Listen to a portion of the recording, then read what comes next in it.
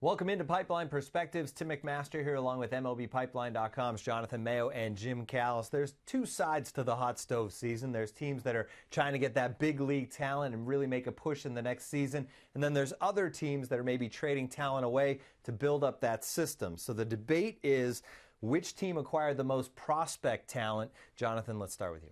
I'm going to go with the Rays, and uh, they're no stranger to trying to, to do this in terms of building up their farm system by trading away big league parts. It looked a little bit different uh, than it has just because they traded a young guy in, in, Wil Myers, but they brought in a lot of talent. Uh, seven guys that slotted into their top 20 during the offseason, uh, you know, and that's not encountering a guy like Jose Dominguez, who was not in the top 20.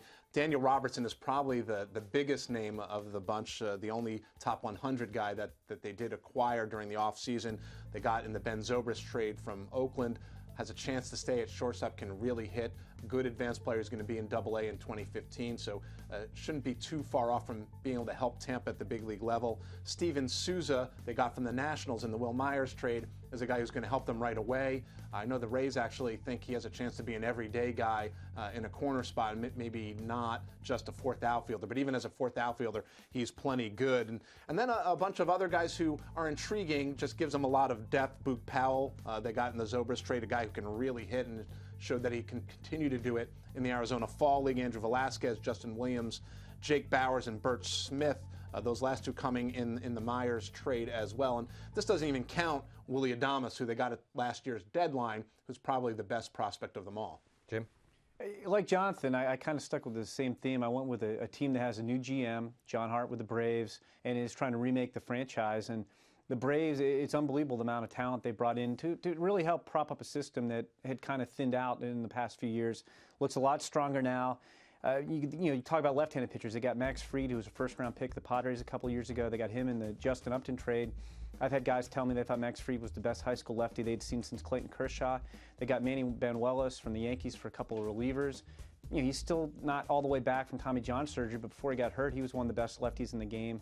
For a little longer-term investment, they got Ricardo Sanchez in the Kyle Kubitza trade with the Angels. He's a lefty who's touched 95. That's just the lefties. Righties, you got Mike Foltynewicz, who's a top 100 prospect. He came over in the Evan Gattis trade, which I thought was a tremendous trade for the Braves. I mean, he Mike Foltynewicz probably has the most consistent velocity of any minor league starter. Hits 100 more regularly than any minor league starter. Has surfaced in the big leagues. They got Tyrell Jenkins, tremendously athletic, former supplemental first round pick.